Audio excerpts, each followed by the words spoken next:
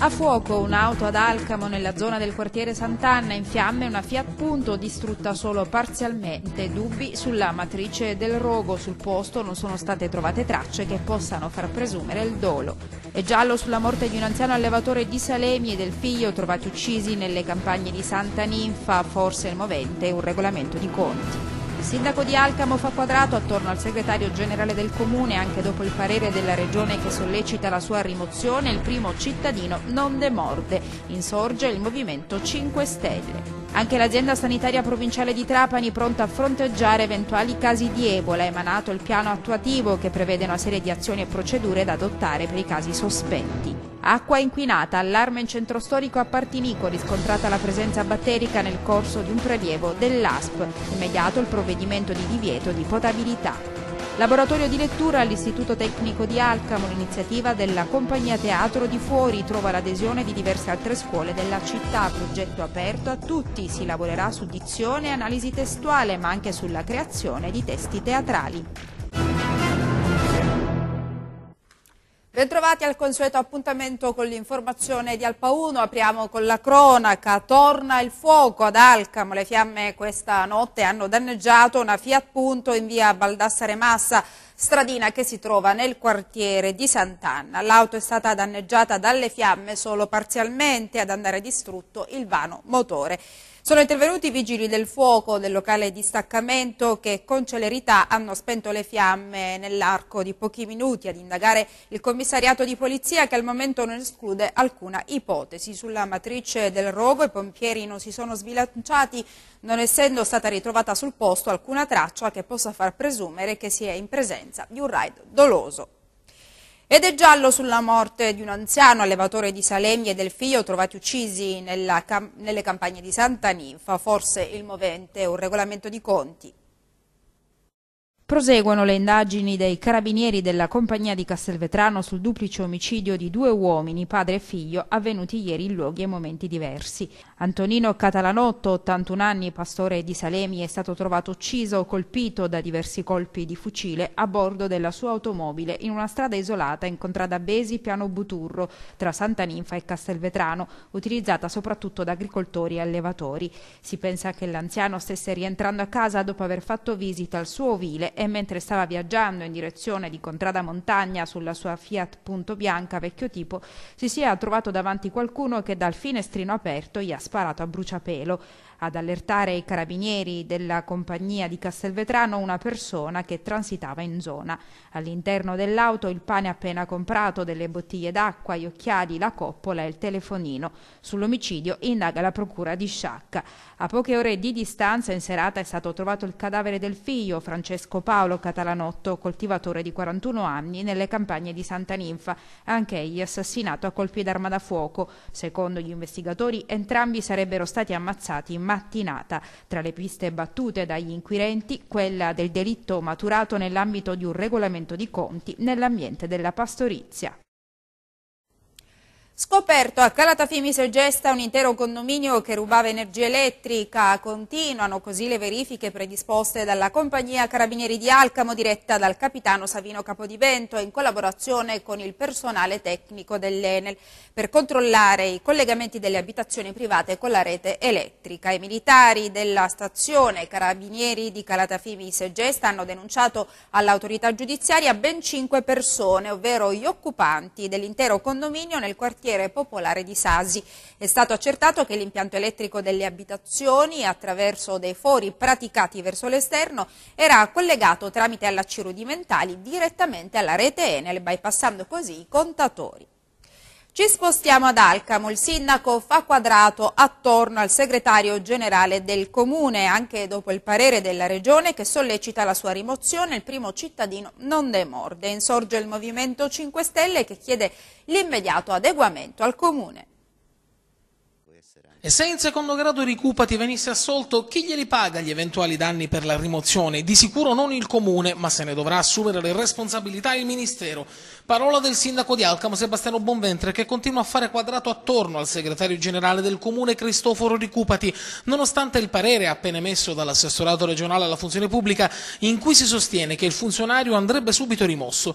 A giorni dovrebbe arrivare la sentenza di secondo grado che riguarda proprio Ricupati, rimasto invischiato all'epoca in cui era sindaco Scala è ritenuto colpevole in primo grado perché avrebbe avallato la richiesta del primo cittadino di avvalersi di consulenti esterni pur disponendo di adeguate professionalità interne all'ente. Il sindaco, nonostante gli attestati di stima e fiducia nei confronti del segretario comunale, dice che è pronto ad allinearsi alle decisioni che arriveranno dagli enti preposti. Noi abbiamo di ufficiale soltanto il parere della Civit, la Commissione dello Stato per la valutazione, la trasparenza e l'integrità delle amministrazioni pubbliche, sottolinea, che ha sostanzialmente rimandato mandato ogni decisione al Ministero della Funzione Pubblica per la complessità della vicenda. Oltretutto ho visionato una nota del Ministero dell'Interno, aggiunge ancora Bonventre, che anzi legittimava la permanenza di Ricupati. Ad ogni modo, se ci saranno altri orientamenti, pur con dispiacere per le doti del segretario, mi adeguerò di conseguenza. A diffondere il contenuto del parere dell'assessorato il gruppo parlamentare all'ARS del Movimento 5 Stelle, che aveva nei mesi scorsi interpellato sulla vicenda la Regione. Oggi è arrivata la risposta. L'incarico del dirigente del Comune, sottolinea l'assessorato regionale, è incompatibile col decreto legislativo 39 del 2013 che statuisce l'inconferibilità di incarichi di vertice a coloro che siano stati condannati anche con sentenza non passata in giudicato per abuso d'ufficio e falso ideologico. Una normativa, sottolinea il deputato regionale dei Grillini Valentina Palmeri, disattesa dal sindaco Bonventre che infatti non ha ancora provveduto alla rimozione del segretario. Secondo sempre la Regione, il Ministero dell'Interno ha avviato il doveroso procedimento disciplinare di competenza nei confronti di Ricupati. Tra qualche giorno il Tribunale di Trapani dovrebbe mettere la sentenza di secondo grado nei confronti dello stesso Ricupati. In pratica, conclude la deputata del Movimento, mentre il Ministero dell'Interno ha già avviato il doveroso procedimento disciplinare, il sindaco Bonventre invece continua a mantenere al Comune questa situazione di assoluta illegittimità. Appare evidente che tale nota vale più di qualsiasi altra circolare che il sindaco ancora attende in ordine a modifiche legislative. La rimozione di Ricupati fu chiesta da più parti, per la vicenda giudiziaria che per l'appunto lo aveva coinvolto con condanna già subita in primo grado ad un anno di reclusione pena sospesa per abuso d'ufficio e falso in atto pubblico. Il sindaco di Castelvetrano Selilunte Felice Errante ha preso parte ieri alla cerimonia di consegna di alcuni beni confiscati alla mafia che si è tenuta a Palermo alla presenza tra gli altri del ministro dell'interno Angelino Alfano, del procuratore nazionale antimafia Franco Roberti e il direttore dell'Agenzia nazionale per i beni confiscati. All'amministrazione castelvetranese sono stati consegnati quattro terreni che saranno utilizzati per iniziative sociali e lo stabilimento industriale di Via Tagliata, già sede di Olio Oliva, che è stato assegnato alla cooperativa Terra Mia costituita da ex dipendenti del gruppo 6 GDO. L'assegnazione è avvenuta di concerto con l'Agenzia dei beni confiscati, la quale da parte sua cederà il ramo di azienda Olio Oliva con le relative attrezzature e macchinari unitamente a quello del della stagionatura dei formaggi. I sette dipendenti che hanno costituito la cooperativa e che per la capitalizzazione della stessa impiegheranno l'indennità di mobilità vedono così realizzarsi il sogno di tornare al lavoro. Anche l'azienda sanitaria provinciale di Trapani, pronta a fronteggiare eventuali casi di Ebola, ha emanato il piano attuativo che prevede una serie di azioni e procedure da seguire per i casi sospetti. La gestione delle fasi iniziali di un eventuale caso sospetto accertato nel territorio trapanese di un paziente affetto da virus Ebola è quanto predisposto nel piano attuativo aziendale emanato dalla direzione strategica dell'azienda sanitaria provinciale di Trapani sulla base del decreto dell'assessorato regionale della salute malattia da virus Ebola, implementazione, sorveglianza e case management. Il piano ha dichiarato il direttore generale Fabrizio De Nicole è stato stilato dopo un tavolo tecnico con tutti i direttori direttori sanitari ospedalieri di presidio e i responsabili dei dipartimenti e servizi di prevenzione, emergenza, formazione, rischio clinico, malattie infettive, patologia clinica e farmacia ospedaliera. Saremo così pronti, dice De Nicola, a trattare in tutta sicurezza eventuali casi sospetti che dovessero presentarsi nella nostra provincia. Il piano contempla una serie di azioni, dai posti letto dedicati in isolamento in un locale apposito nei pronto soccorso con ingresso autonomo e isolamento del percorso dove andrebbe a transitare il presunto malato, alla ricognizione e implementazione del materiale per gli operatori sanitari impiegati nell'assistenza diretta al malato, per fornire loro i dispositivi di protezione individuali che abbiano delle caratteristiche specifiche per contenimento di rischio microbiologico, come tute idonee, doppi guanti in nitrile, occhiali, visiere. Ovviamente sono state elaborate delle procedure da adottare nei casi sospetti con esecuzione degli esami di laboratorio per la ricerca e l'identificazione degli agenti responsabili di febbri emorragiche come test su malaria e tubercolosi e l'eventuale trasferimento del paziente sintomatico al centro individuato nel decreto assessoriale. Nel caso in cui invece ci si dovesse trovare di fronte ad un caso di malattia accertata, si dovrà procedere al trasporto del paziente in alto biocontenimento nel rispetto delle direttive e dei regolamenti vigenti verso strutture ospedaliere attrezzate per fronteggiare tali fattispecie.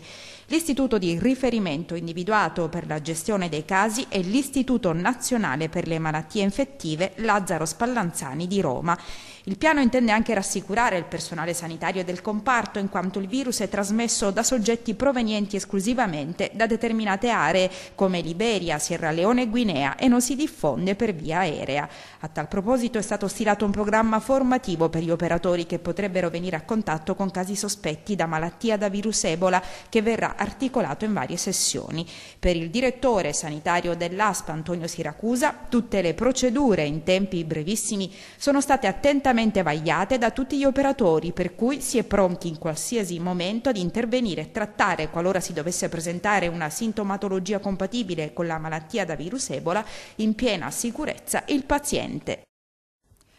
Una folta delegazione di pensionati trapanesi prenderà parte mercoledì prossimo 5 novembre alla giornata nazionale di mobilitazione unitaria che si terrà a Palermo al Teatro Politeama. L'iniziativa organizzata da SPCGL, FNPC, SLE, Will Pensionati è stata illustrata in occasione dell'attivo unitario dei sindacati dei pensionati al quale hanno partecipato i segretari provinciali e regionali delle tre sigle.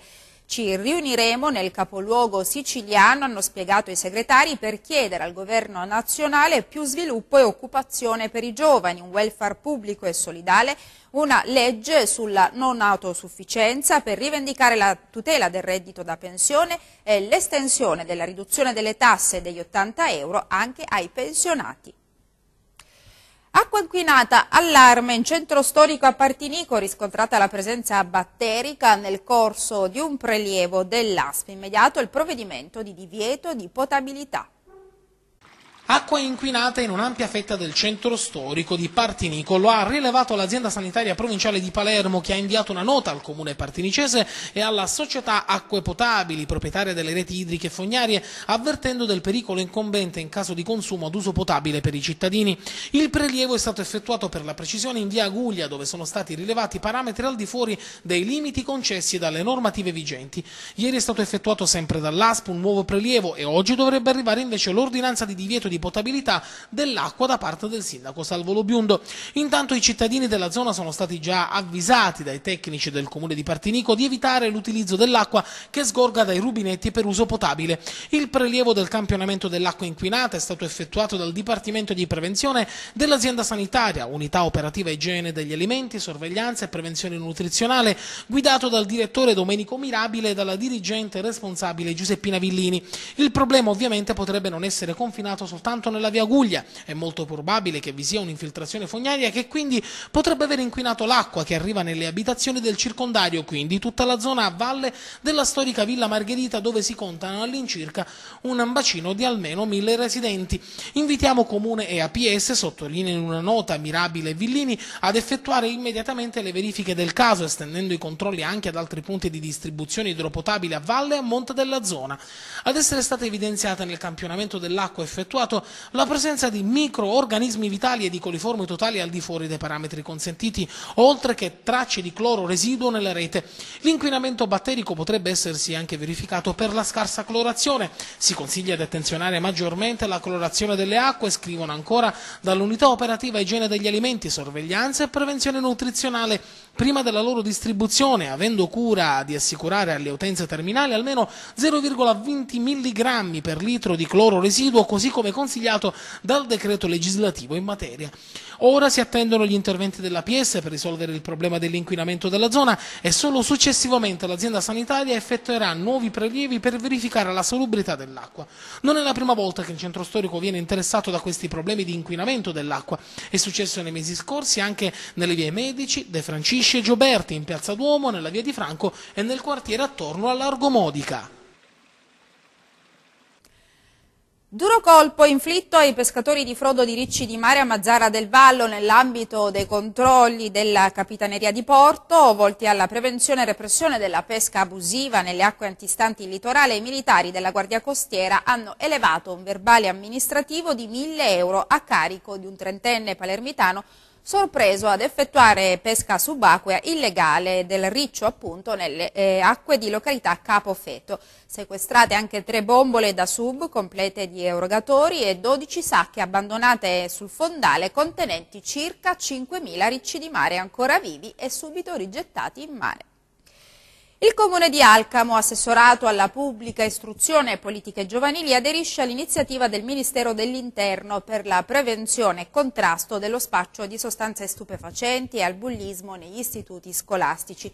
In una nota l'assessore Selene Grimado ricorda che recentemente è stato attivato un numero telefonico, il 43002, al quale si potranno inviare sms per segnalare eventuali casi di spaccio o bullismo nelle scuole o nelle immediate vicinanze. Le informazioni verranno prese in carico dalle forze di polizia che predisporranno opportuni e mirati interventi.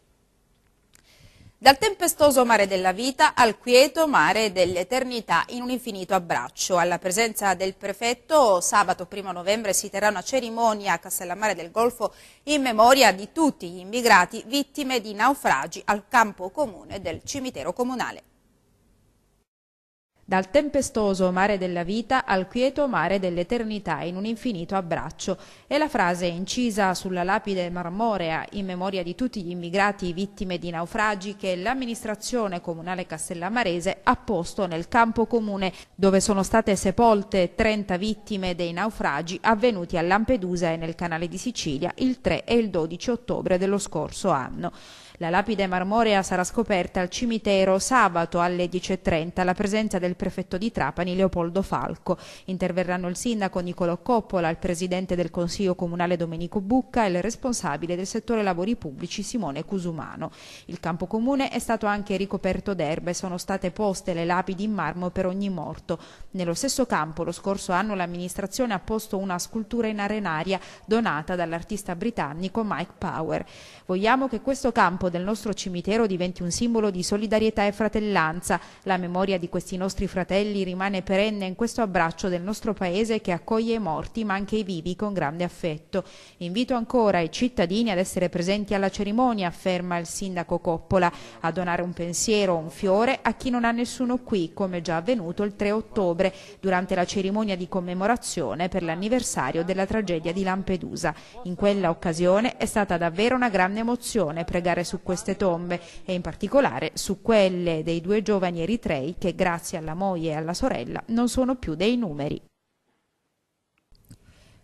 Presentato ieri presso la sala delle riunioni di Palazzo Dalia Trapani lo sportello multifunzionale Sordi attraverso un servizio specializzato e individualizzato di assistenza e affiancamento agli utenti con disabilità uditiva lo sportello intende garantire l'accessibilità dei servizi e l'abbattimento delle barriere della comunicazione per le persone sorde, così come sancito dalla Convenzione ONU sui diritti delle persone con disabilità. Nell'erogazione dei servizi lo sportello prevede la presenza di un'equipe multidisciplinare costituita da diverse figure professionali e in particolare cinque interpreti LIS o assistenti alla comunicazione che faciliteranno la comunicazione interpersonale tra udenti e non udenti, tre psicologi, psicologi che facilitano le relazioni dell'utente sordo e il suo nucleo familiare, due conselor della sordità, logopedisti che si occuperanno della prevenzione, cura e riabilitazione delle patologie della voce, del linguaggio e della comunicazione, un audiologo che fornisce consulenza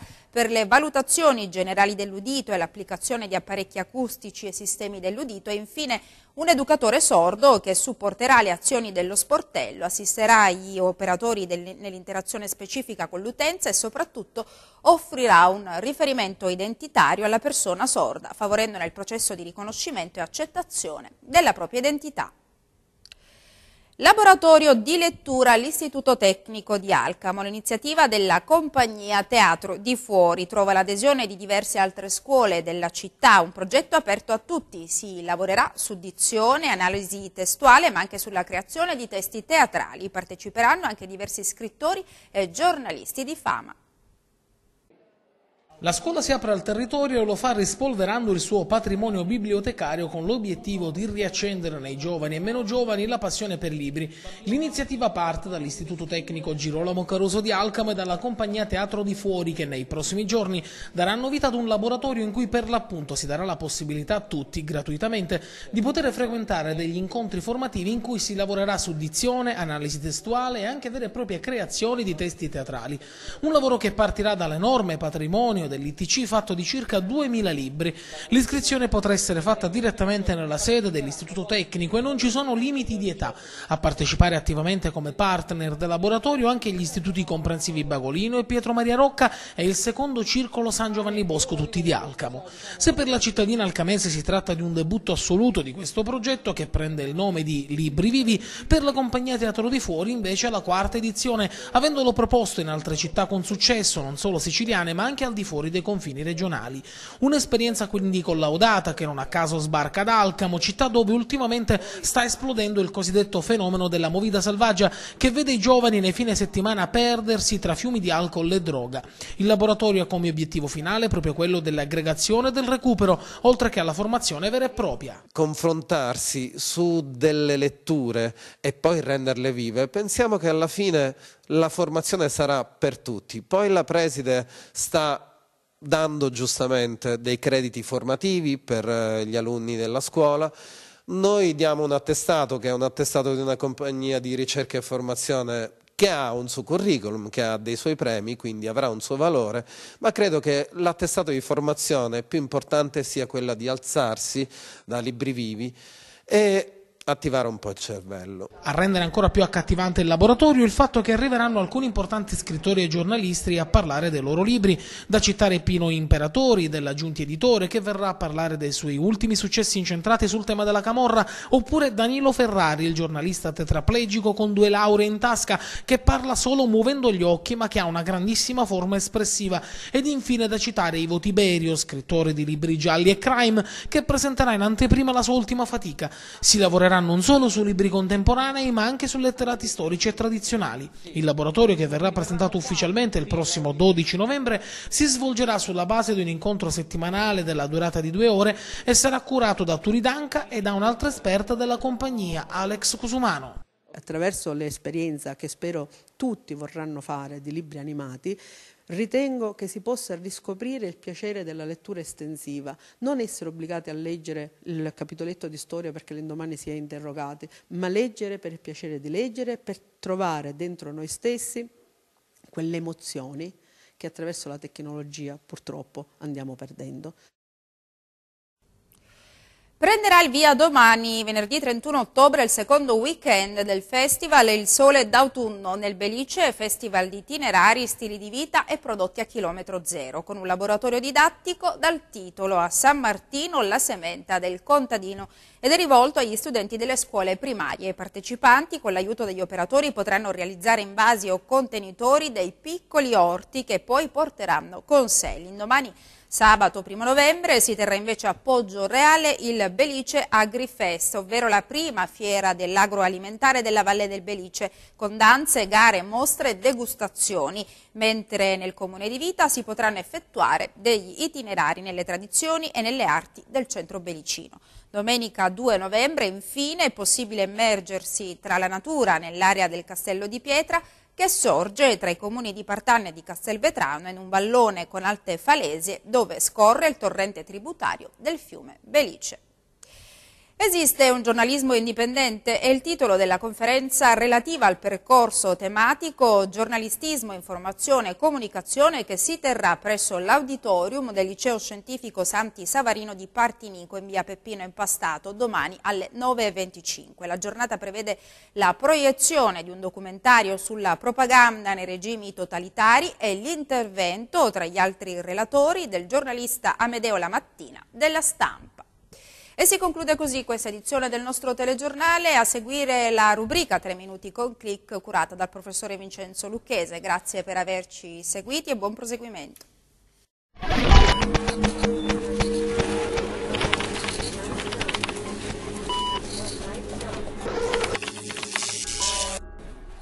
Buongiorno a tutti. Altro comunicato stampa del 15 di ottobre 2014 prende il via il progetto di lingua araba presso l'Istituto Comprensivo Sebastiano Bagolino.